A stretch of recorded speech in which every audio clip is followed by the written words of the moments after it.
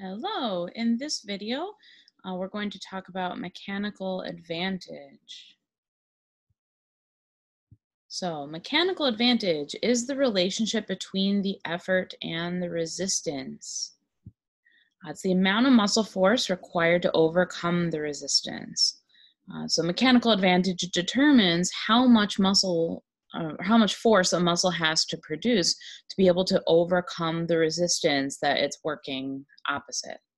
Uh, so we do that by comparing the effort arm and the resistance arm. Um, so the effort arm is the distance between the axis of rotation or the fulcrum and the application of the muscle effort. And the resistance arm is the distance between the axis and the point of application of the resistance. Uh, so to clarify where those things are happening on the lever, which of course is the limb or the bone, uh, the, the muscle effort is being applied where the muscle attaches to that uh, segment. Okay, so if we're looking at, let's say, uh, this bottom um, diagram here in the bottom right, let's say that that's a diagram of biceps brachii and the forearm. Okay, so let's say that that's the forearm. The axis of rotation is the elbow. Uh, the point where the muscle effort is applied, so where we would put that arrow in our little diagram, would be the point of the insertion of biceps. So it'd be actually very close to the axis of rotation uh, because bicep inserts in the radial tuberosity and the bicipital aponeurosis. So it's very close, it's more proximal. Um, and so where that muscle inserts is where the muscle effort is being applied. So when the muscle produces force, it's applying that force to the limb that it's moving at its point of attachment. And then the resistance would be, well, it depends on what the resistance is. So let's say, again, this is the forearm, and let's say that there's a hand at the end of this limb. Um, the resistance, if the hand is empty, the resistance would just be at the center of mass of the limb. So wherever the center of mass or the center of gravity is located on this limb is where the most resistance is concentrated because that's where the mass is concentrated. So that's where gravity affects the limb the most. And in this case, if there's if we're not holding anything, uh, that would be the greatest resistance. If we're holding a dumbbell in our hands, all that means is that the center of mass is going to move more distally. It's going to move closer to where we have a higher amount of mass.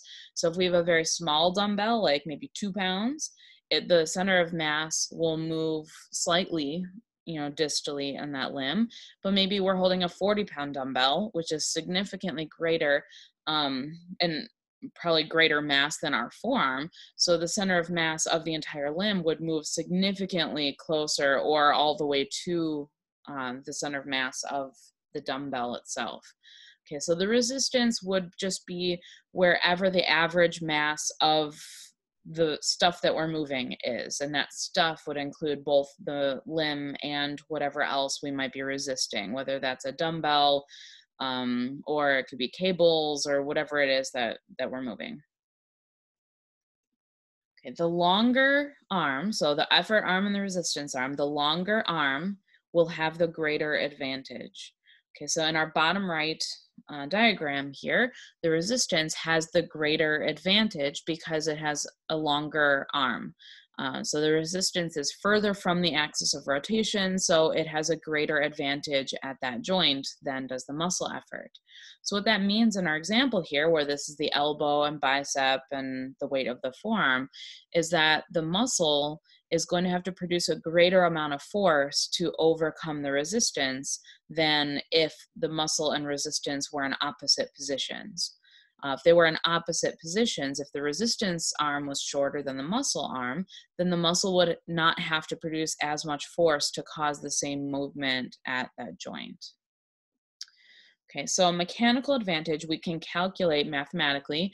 Um, all we need to do is divide the length of the effort arm, so the distance from the axis to the muscle effort, divide that by the length of the resistance arm, the distance from the axis to the resistance.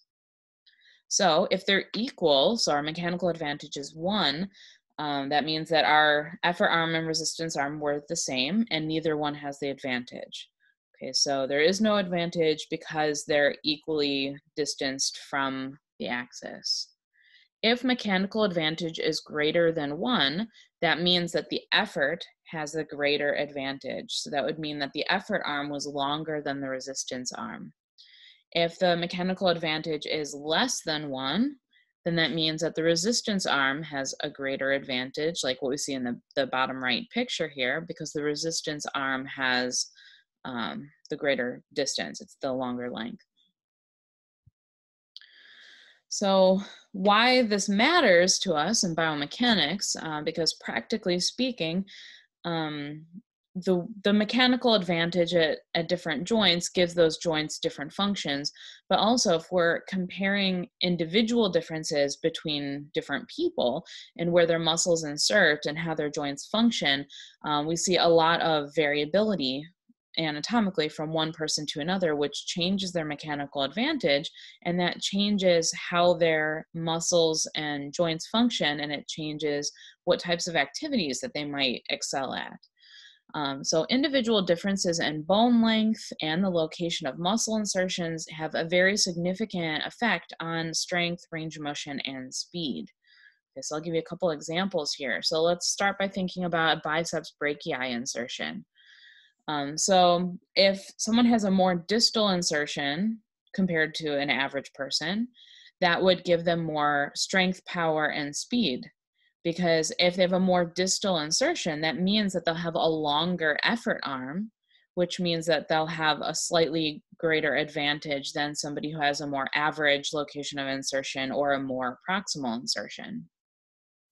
So a more proximal insertion may have slightly greater range of motion. So although they'll have a lesser advantage, which will lessen strength, power, and speed, uh, it will allow for more range of motion because of the position of where that muscle is inserted. It will allow for greater muscle excursion, meaning uh, greater length and space that that muscle is able to move through. So now imagine that the biceps brachii inserts the same distance from the elbow in two different people. Okay, so now we have two different people who have the exact same effort arm, so the same distance from the elbow to the insertions of bicep. But in these two different people, their forearms are of different lengths. Okay, so even though the effort arm in this case would be equal between these two people because the insertion is at the same location, the mechanical advantage would be different between the two people because the resistance is located in a different place. So if their forearms are of different lengths, the person with the shorter forearm will have a resistance that is closer, so a shorter resistance arm. Someone who has a longer forearm will have a longer resistance arm because the center of mass or the center of gravity will be located more distally. So in that case, the shorter forearm has the greater effort mechanical advantage because the resistance arm is shorter. Okay, so that shorter limb with the same insertion, that person will have a greater mechanical advantage. So that's going to increase their strength, power, and speed uh, compared to the person who has the longer forearm with the same location of the bicep insertion. Okay, that's all I have for you on this one. Thank you for watching.